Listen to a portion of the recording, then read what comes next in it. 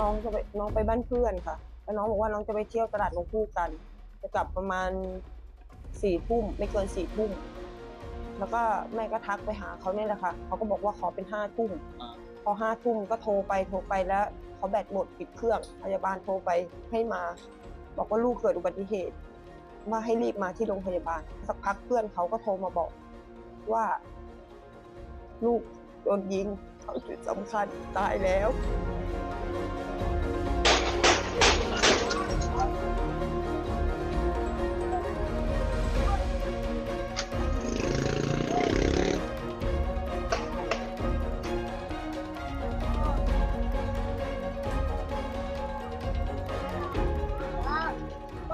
อนที่ตอนที่เขายิงสามนัดแรกแล้วเขาก็ยิงต่ออีกสามนัดก็คือเป็นบังอะแล้วผมก็ขับไปเอ๊ะแล้วผมก็ขับเลยเลยหันกระบะว่าเฮ้ยไม่ใช่กระบะยิงหรอกแรงนั้นผมก็ขับไปดูเขาขับมาเขาบอกว่ามีคนโดนยิงมาก่อนผมก็ผมก็ไปดูเขาก็โดนยิงต้องมาส่งโรงพยาบาลเนี่ย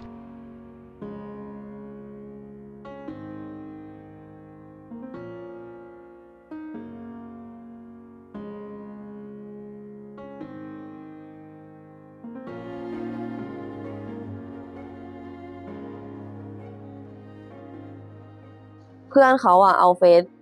เอาเฟซน้องหนูอะโทรมาโทร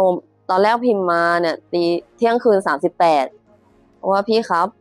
ผมเพื่อนปื้มนะครับปื้มโดนยิงอาการสาหัสอยู่โรงพยาบาลพระนั่งเกล้าแล้วมันก็โทรมาแฟนหนูก็เลยรับสาย ตอนแรกก็นึกว่าเป็นน้องอะแหละ แต่เป็นเพื่อนมันโทรมาบอกว่า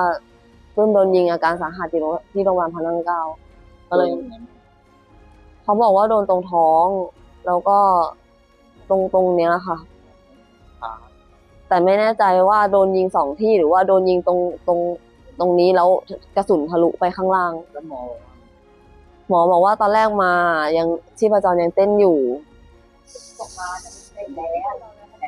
อ๋อ มาถึงไม่มีชีพจรแล้ว แต่แต่เขาปั๊มปั๊มก็กลับมา พอกลับมาก็เลยผ่ากระสุนออกผ่าออกเสร็จ ก็เลยไปอีก เขาก็ปั๊มกลับมามันก็ไม่กลับมาแล้ว ตั้งใจแล้วไม่